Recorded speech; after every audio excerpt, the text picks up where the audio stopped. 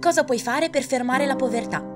Sei mai stato in una stazione della metropolitana in una notte fredda e hai visto qualcuno tremare perché non aveva una giacca? O che ne dici di fare la fila al supermercato dietro qualcuno che non ha abbastanza soldi per comprare quello che ha nel carrello? In tutto il mondo ci sono persone che affrontano situazioni difficili e non riescono ad arrivare a fine mese.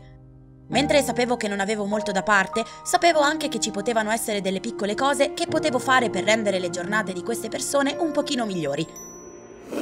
E puoi farlo anche tu. Tutto è iniziato quando un giorno stavo guardando la tv con mia sorella. Stavamo guardando uno speciale sulle festività e parlavano di quante persone senza casa si recavano alle Caritas e alle mense per un pasto caldo.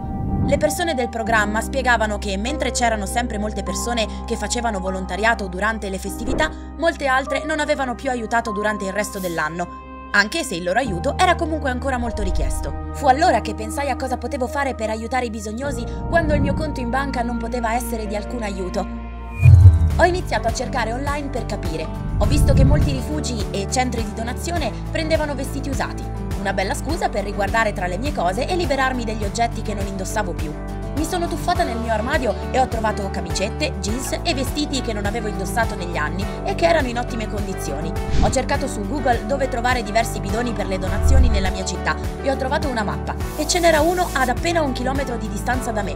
Ci sono anche organizzazioni che prendono abbigliamento da ufficio e lo donano a persone che si stanno rimettendo in piedi e cercano nuovi posti di lavoro ma non possono permettersi nuovi abiti. Puoi trovare tutte queste fantastiche organizzazioni online. Mentre donare abiti è una grande cosa da fare, Sapevo che essere affamati era probabilmente una delle cose più difficili da affrontare. Ho sempre avuto tre pasti al giorno e non riesco a immaginare come debba essere non avere quel lusso. Certo che lo do per scontato.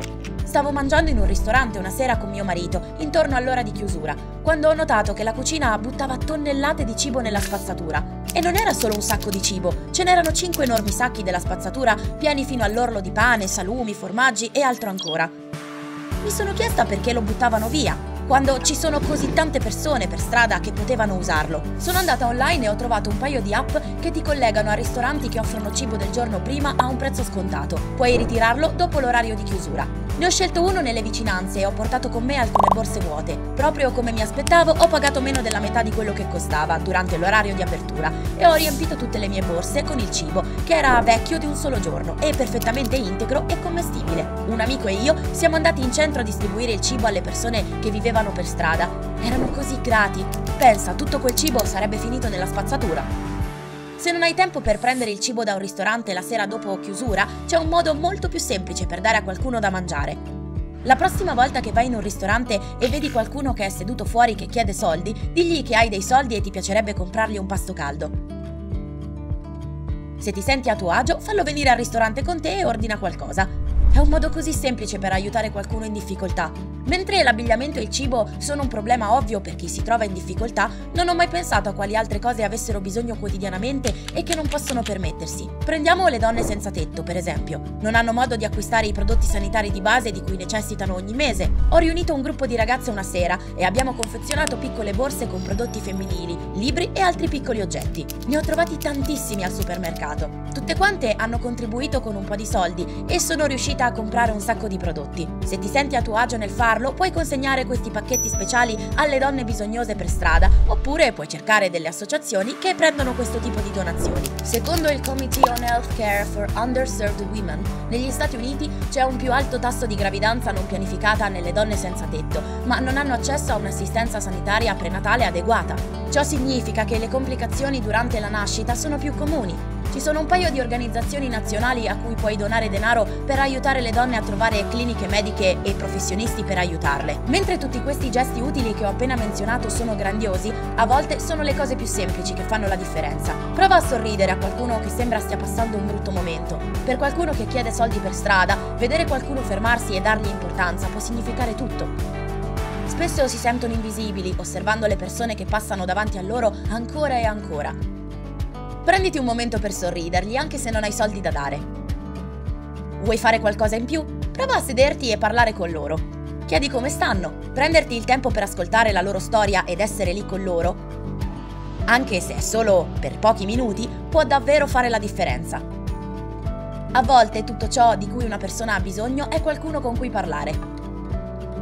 E chi lo sa, potresti persino imparare qualcosa. Se ti capita di passare vicino qualcuno per strada che sembra che non stia bene o sembra che abbia bisogno di attenzione medica, ma non è necessariamente un'emergenza, chiama l'800 062 026 e chiedi aiuto. Questo numero verde è della rete sociale attiva ed è una hotline nazionale che esiste per aiutare i più bisognosi. Chiama sempre il 112 in caso di una vera emergenza. Basta comporre il numero verde 800 062 026 e chiedere a qualcuno di venire e controllare la persona. È super facile e non devi nemmeno parlare con la persona che ne ha bisogno se non ti senti a tuo agio. Un altro modo semplice per dare alle persone bisognose è reindirizzare i tuoi regali. Se devo essere veramente onesta, all'inizio non ero sicura di questa idea. Significherebbe rinunciare a tutti i miei regali di compleanno per aiutare chi ha bisogno. Ma dopo averci pensato ho capito che avevo già tutto ciò di cui avevo bisogno, non mi stavo perdendo nulla.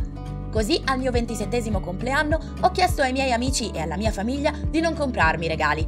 Invece gli ho chiesto di scegliere un ente benefico a loro piacere e di donare tutto ciò che avrebbero speso per me a quell'organizzazione. Questo è un modo così semplice di restituire e non ho dovuto fare niente. Se desideri donare denaro di tanto in tanto ma non riesci a farlo, prova a inserirlo nel tuo budget mensile. Mio cognato lo fa e ha sempre qualche spicciolo extra da dare a qualcuno che chiede soldi per strada. Anche se sono solo 5 euro, 10 euro, se lo metti da parte come faresti per l'affitto o per i soldi della spesa, avrai un po' di soldi ogni mese da donare. Non dovrai nemmeno pensarci. So che a volte pensi che così tante persone nel mondo hanno bisogno di così tanto e come fai ad aiutarli tutti? Ma la verità è che basta qualcosa di piccolo. Se tutti nel mondo fossero aiutati in piccoli modi ogni tanto, farebbe davvero la differenza. Quindi la prossima volta che vedi qualcuno che ha bisogno, o se tu senti il bisogno di aiutare, fallo. È semplicemente la cosa giusta da fare. Non vorresti che qualcuno lo facesse per te? Che cose semplici fai per aiutare le persone meno fortunate di te?